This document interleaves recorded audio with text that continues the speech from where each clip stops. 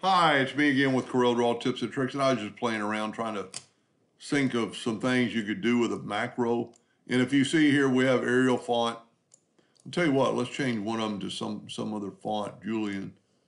And just so you'll see it working. And if you had a bunch of text, you could select them and then go up to object and convert them to curve. But let's do it with a one key stroke.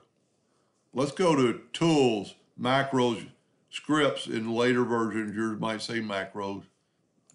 I actually need to go to tools and scripts and start recording. I'm going to say text to curves, just see, text to C. Now I'm going to go to edit, select all text, go to effect, or excuse me, go to object and convert it to a curve. Now we can go to tools, scripts, stop recording. And then if we go to tools, scripts, and script editor or macro editor, there's our text to curve. Now you can see that this is already curved, so we're gonna back up where this is a font. We don't have to do anything but double click on this. And in that one stroke, it changed them all to, to, to words or to curves. So if you right click on this and hit a sign a keyboard stroke, I've already tried, I don't like that, so I'm gonna hit delete. I'm gonna type in a new one. I'm gonna try, you know, just something you could remember, like alternate three and put a sign and then say okay. So this is now a not a text, so we're going to back up.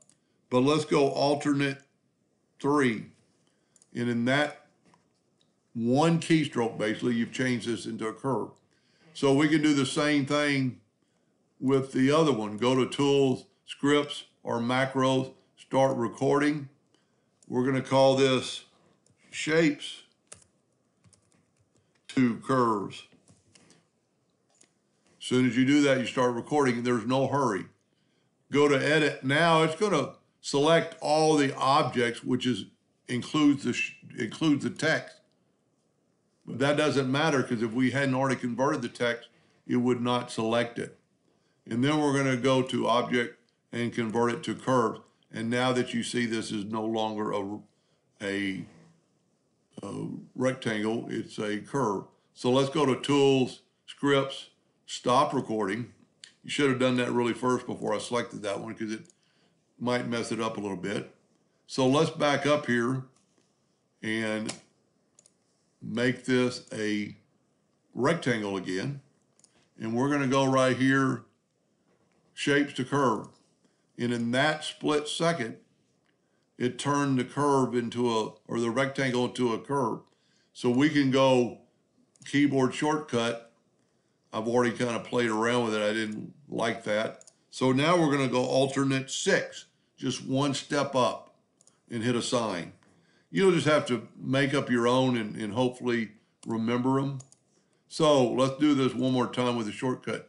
Let's back up here where we have just fonts and rectangles and polygons. You can see right here, it's a polygon, there's a star. So let's go alternate three.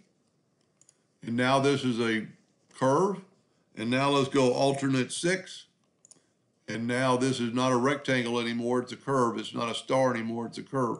So if you had a lot of objects on your page, by going there and selecting, know, making it select them all, you're you're making a lot life a lot better.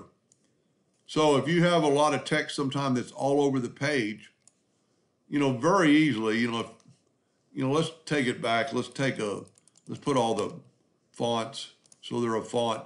It doesn't matter, you know, where the words are.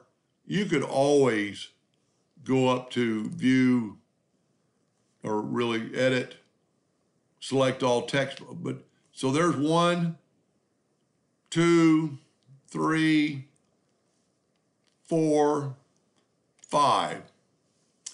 Five instead of one keystroke. Let's just back up here and try it one more time. So this is a font now. we're gonna alternate three. And now this is a curve. Hope that helped a little bit. Thank you for watching.